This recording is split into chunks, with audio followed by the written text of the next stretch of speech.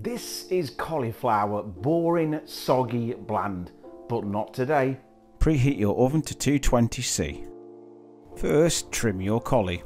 Next, cut into quarters. Being sure you also remove the tough core.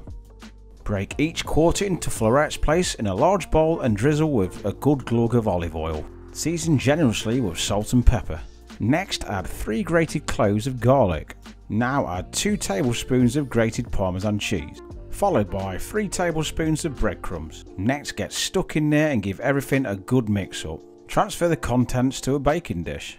Drizzle with a little more olive oil. Roast for 20 minutes. Flip your cauliflower and roast for a further 5 minutes. If you wish, finish with a little chopped parsley. Roasted cauliflower done.